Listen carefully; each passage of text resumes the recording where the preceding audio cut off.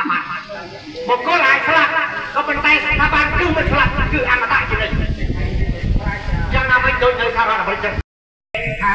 ស្រឡាញ់គណៈបកភ្លើងទៀនបងបងខ្លួនឯងថាបន្តស្មារតីដើមពីគណៈបកភ្លើងទៀនតែផ្ទុយទៅវិញណា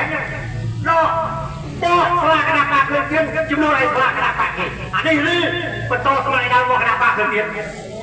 បន្តស្មារតីដើមរបស់គណៈបកភ្លើងទៀនដែរអត់ទេធ្វើបែបនោះ បុត្រអត់អាចរត់តបុត្រនេះគឺជាការបំផ្លាញស្មារតីដើមរបស់គណៈបកប្រជាជាតិទេខ្ញុំខ្លួនឯងនេះ